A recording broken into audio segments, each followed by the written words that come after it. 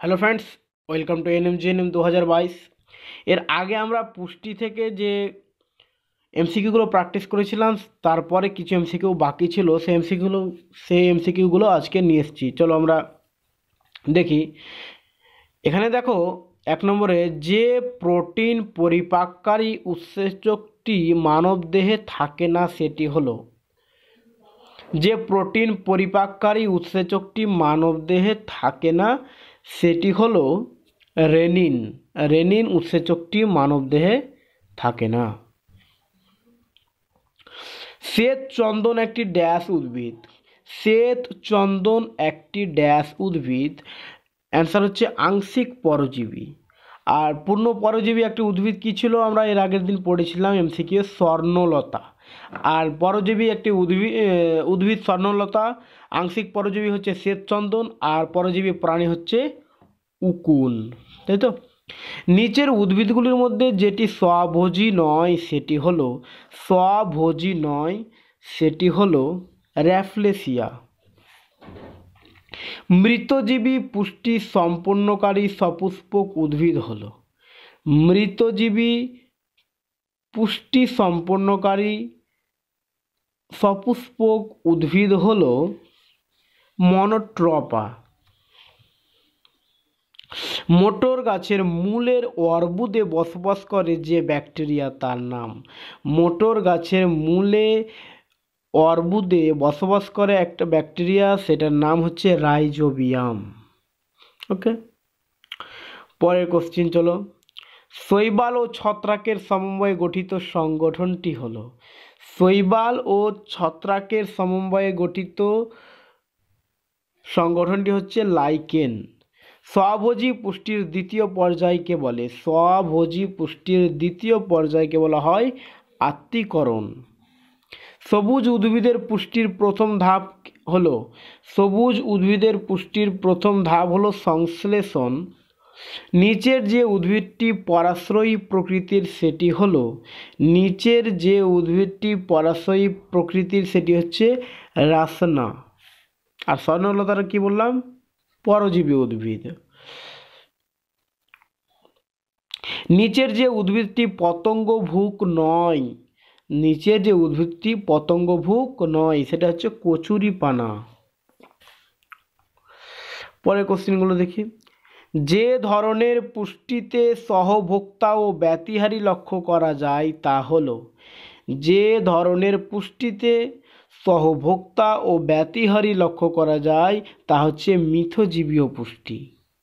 Option C যে ধরনের পুষ্টিতে উদ্ভিদ মৃত পচনশীল জৈব বস্তু থেকে পুষ্টি লাভ করে, যে ধরনের পুষ্টিতে উদ্ভিদ মৃত ও পচনশীল বস্তু থেকে, জৈব বস্তু থেকে পুষ্টি লাভ করে, সেটা হচ্ছে স্যাপ্রোফাইটিক পুষ্টি।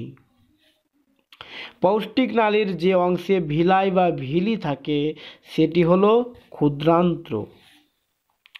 হাইড্রার খাদ্য গ্রহণের সঙ্গে সংশ্লিষ্ট অঙ্গ হলো হাইড্রায়ের খাদ্য গ্রহণের সঙ্গে সঙ্গে সংশ্লিষ্ট অঙ্গ হলো কর্সিকা। একটি কপ্রোফ্যাগাস প্রাণী হলো, একটি কপ্রোফ্যাগাস প্রাণী হলো। এখানে শুয়োর, গিনিপিগ, মাছি সবটাই কপ্রোফ্যাগাস প্রাণী, তাহলে সব কয়টি?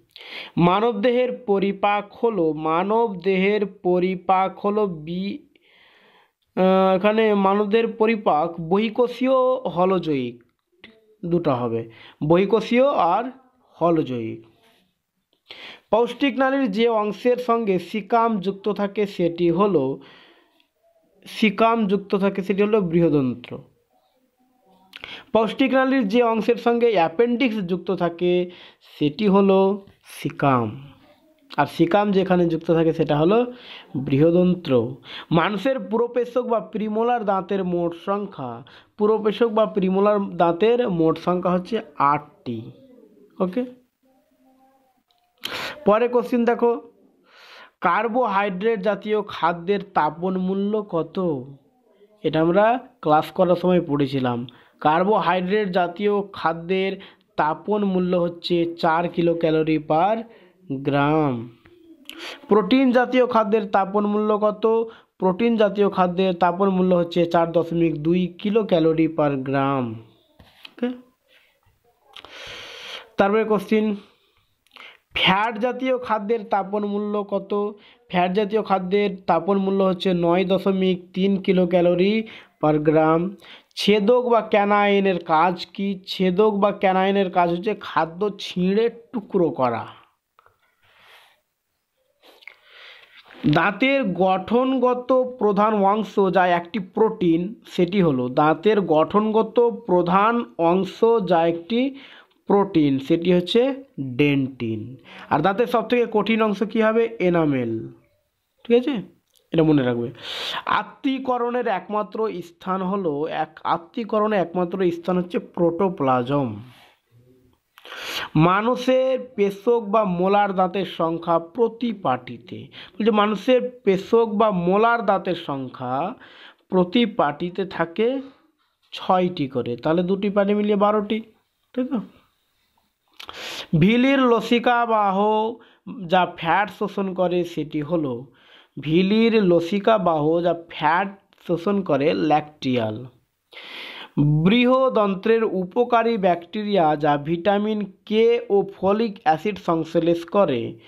বৃহদন্ত্রের উপকারী ব্যাকটেরিয়া যা ভিটামিন কে ও ফলিক অ্যাসিড সংশ্লেষ করে তা হল এস্টেরেসিয়া কোলাই ক্ষুদ্রান্তের শেষ অংশ যা সিকামের সঙ্গে সংলগ্ন থাকে।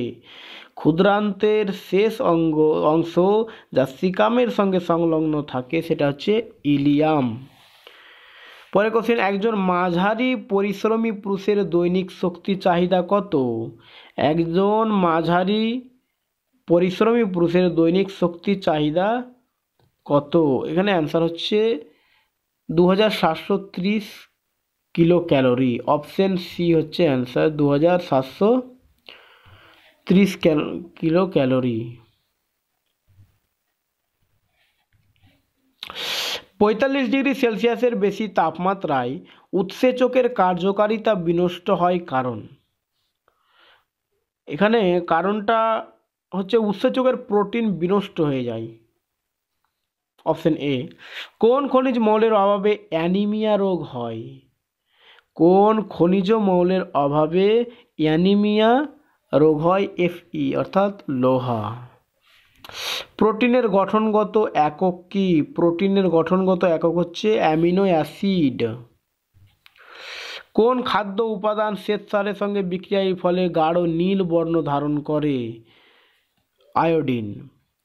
বিপাকীয় সমস্যাজনিত একটি রোগ হলো, বিপাকীয় সমস্যাজনিত রোগ হচ্ছে ডায়াবেটিস। পরে কোশ্চিন জলীয় বাষ্প শোষণের জন্য রাসনা জাতীয় পরাশ্রয়ী উদ্ভিদের যে বায়বীয় মূল দেখা যায়, তাকে বলা হয় ভেলামেন। এরপরে আমাদের চ্যাপ্টার থাকবে সংবহন পরিবহন ঠিক তো? পুষ্টির পরে যে চ্যাপ্টারটা বলা হয়েছিল, সেই চ্যাপ্টারটা করব। তোমরা যদি চ্যাপ্টারের লিস্টটা না দেখে থাকো read a road map of life science বলে একটা ভিডিও দেওয়া আছে, তোমরা ওটা দেখে নেবে।